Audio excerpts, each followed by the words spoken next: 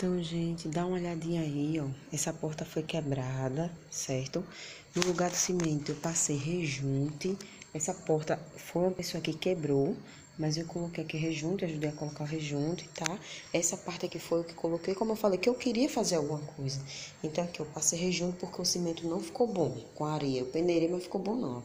Essa parte foi tudo estourada. Essa aqui é uma outra porta que vai dar acesso ao meu quarto, porque quem tem bebê sabe que tem que estar mais perto possível. E a princípio eu não pretendo deixar ele dormir sozinho no quarto. Aí aqui, ó, isso aqui eu ainda vou ajeitar essa partezinha, mas de início, ó, como é que o quarto tá, ó. Aqui era outra pessoa que morava, tudo esburacado, teve que colocar rejunto, botei rejunto tudo quanto é canto. E o que eu vou fazer agora é, perdão, argamassa, é, rejunto argamassa, qual foi o nome? É argamassa. E agora eu vou colocar o rejunte aqui para ficar branquinho. E amanhã, quando estiver seco, eu vou colocar é, vou passar massa corrida. Aí vai ficar bacana. Depois vou pintar. Então, eu tô mostrando pra vocês o antes e o depois, certo?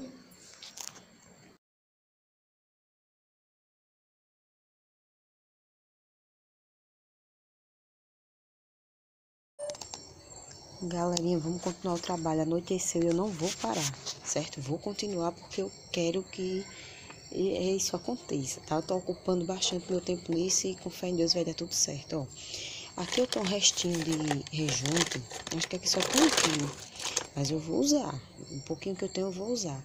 E eu fui fazer o cálculo aqui, a dosagem é o seguinte, ó, aqui tem 5 quilos, então para cada 1 um quilo, um quilo, você vai usar um terço de água.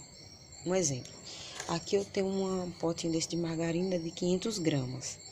Então, eu vou usar 125 ml de água. Então, se eu encher isso aqui de rejunte, até aqui vai ter que ser água, mais ou menos um terço, certo? E eu vou misturar tudo aqui e vou fazer a aplicação com emborrachadozinho e uma escovinha de dente antiga para não, não ter que comprar material. Vou usar o que eu tenho, certo? Então aqui a gente começou a preparação, tá? As 500 gramas, como eu falei, a fumaça subindo.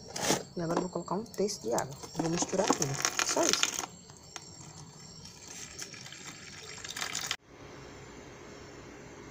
Tá aí, galera, 10 e 10, eu vou começar a limpar agora. Eu coloquei mais é, rejunte na cerâmica do que no buraco.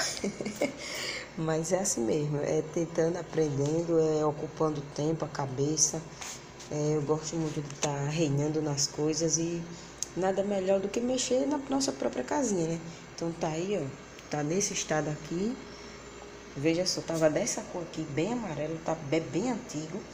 E tá daquele jeito agora. Então, eu vou dar uma limpadinha. Não deu pra usar tudo, porque eu, eu não vou comprar mais rejunto. Eu usei um restinho que tinha aqui em casa, de um pacote. Então, só deu pra colocar nisso. Mas já deu uma clareada. Então, agora eu vou ter que limpar tudo, certo?